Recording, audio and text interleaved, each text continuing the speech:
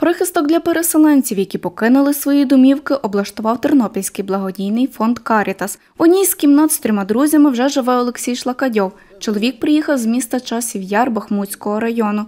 Тут облаштовує свій побут. Це моя кімната. Тут я временно живу поки. Це ліжко моє.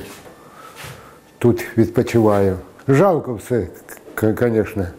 Будинок жалко. Ну а що тепер? Як туди вертатися? І до, до, до чого?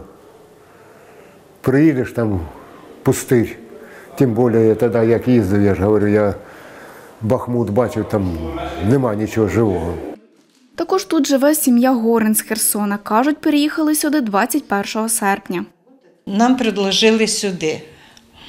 Е, Умови дуже гарні, битові, дуже і ванна, та душова, і е, ну, все, все тут.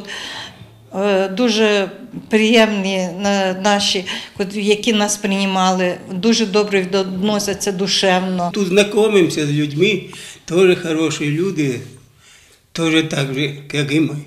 Прихисток розрахований на переселенців віком від 60 років. Тут можуть проживати 40 людей. Приміщення, в якому житимуть люди, колишній дитячий будинок, розповів директор Тернопільського благодійного фонду Карітас. Загальна площа цього будинку складає 635 квадратних метрів.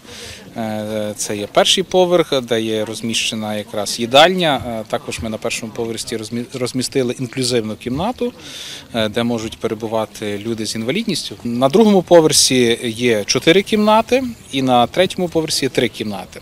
Отже, кімнати у нас є різної категорії, де можуть проживати двоє людей, де проживають троє людей, і де проживає четверо.